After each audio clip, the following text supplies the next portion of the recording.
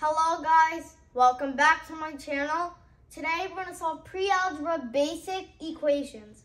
Before we start on these examples, be sure to like and subscribe to my channel. So we have number one, 18 equals 3 times parentheses 3x minus 6.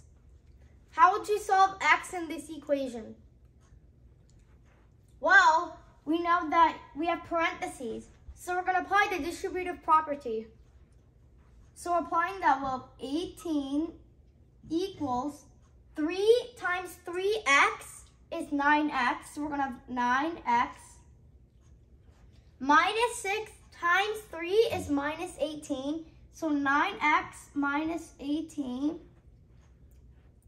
Now, how would you solve to isolate x in this situation? So we have a minus 18 here. To get rid of this on the right side, we're going to add 18 to both sides of the equation. So adding 18 to there and adding 18 to there. So what we notice is negative 18 plus 18 is 0. So it cancels out. And 18 plus 18 is 36. So now we're bringing down our 9x, we have 36 equals 9x. Now, how would you solve the isolate x?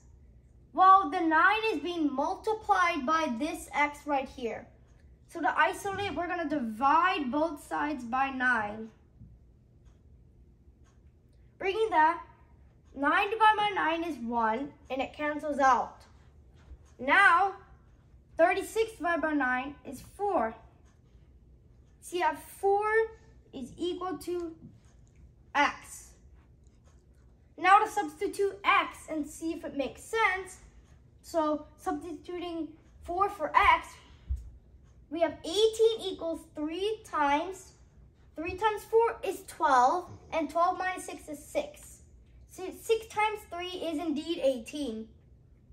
So x equals 4 is our only solution in this equation.